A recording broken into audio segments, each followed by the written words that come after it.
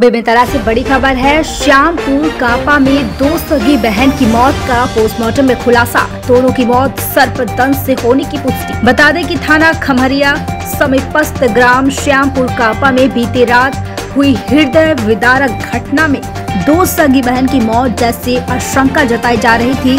सर्पदंश का वो पोस्टमार्टम के बाद पुष्टि भी हो गई दोनों की मौत सांप काटने ऐसी ही हुई है। बेमेतरा से सी टीवी।